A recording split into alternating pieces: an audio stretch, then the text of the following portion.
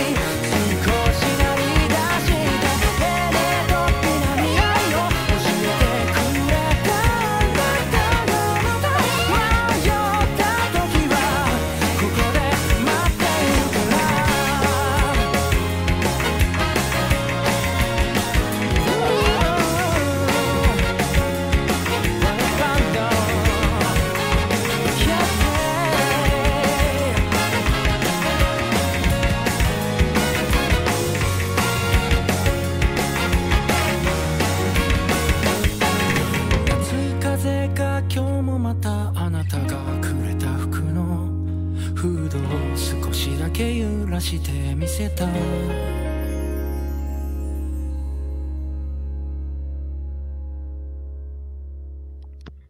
I fucking suck at this game.